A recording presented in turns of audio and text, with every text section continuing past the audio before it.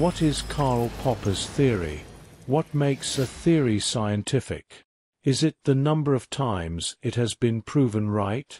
Or is it something deeper, something that challenges the very way we think about knowledge and truth?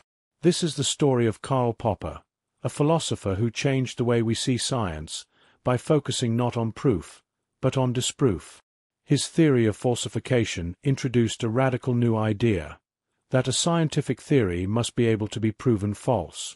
Welcome to the mind of Karl Popper. Karl Popper was born in Vienna in 1902. It was a time of scientific breakthroughs and philosophical questions.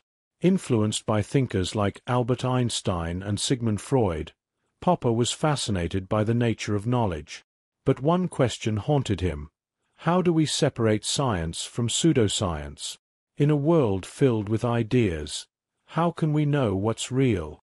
At the time, many believed that the goal of science was to verify theories. The more evidence, the stronger the theory. But Popper questioned this. He noted that theories like psychoanalysis could explain nearly anything about human behavior, yet they were hard to disprove. He wondered, if a theory could explain everything, does it really explain anything at all? Verification seemed straightforward. If you observe enough evidence supporting a theory, it must be true, right? But Popper saw a flaw. History was full of proven theories that were later discarded. For centuries, people believed the Earth was the center of the universe.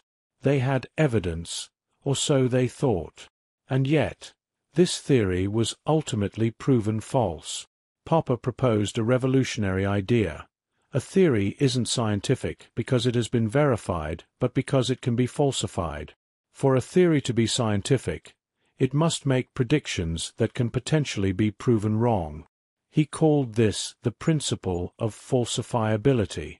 If a theory could withstand attempts to falsify it, it gained strength. But if it could be disproven, then it was time to move on to new ideas. Let's consider a simple example. Imagine a scientist proposes a theory. All swans are white. To make this scientific, the theory needs to be falsifiable. That means we must look for evidence that could prove it wrong.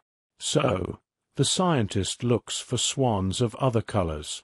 If a black swan is found, the theory is falsified. This is the core of Popper's idea. The strength of a scientific theory lies in its ability to be challenged. Popper's theory of falsification isn't just about swans. It has deep implications for all scientific inquiry. When we make our theories open to disproof, we open the door to progress. A theory that has been tested and has survived falsification is stronger. But more importantly, falsifiability keeps us humble. It reminds us that our theories are never ultimate truths, but always subject to question. History shows us how falsification has driven science forward. When Copernicus proposed a heliocentric model, he was challenging centuries of belief. Einstein's theory of relativity replaced parts of Newtonian physics because it made new predictions that could be tested, and Newton's laws couldn't account for everything. Popper's ideas weren't without critics. Philosopher Thomas Kuhn argued that science progresses not by falsification, but by paradigm shifts, periods of normal science interrupted by revolutionary changes. Imre Lakatos, another philosopher, suggested that scientists don't abandon theories after a single falsifying event, but often modify their theories to account for anomalies. Despite this, Popper's influence remains strong. Today, Popper's ideas are embedded in the scientific method. From climate change models to theories about the universe, scientists look for ways to test their theories, and if those theories can be proven false, they are either refined or replaced.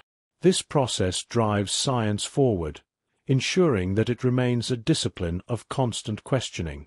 Falsification isn't just for scientists. It's a way of thinking that encourages us to challenge our assumptions, to be open to new ideas, and to recognize that the search for knowledge is never-ending. Popper's philosophy can inspire us all to look for the flaws in our beliefs and seek out new perspectives. Karl Popper showed us that science is more than a body of knowledge.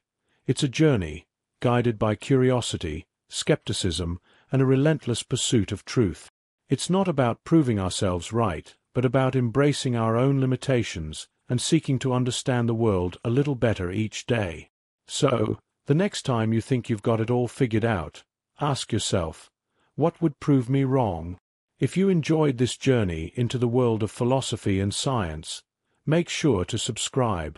Let us know in the comments how you think Popper's theory can apply to today's world, and share this video with anyone who loves exploring the big questions in life. Until next time, keep questioning, keep exploring,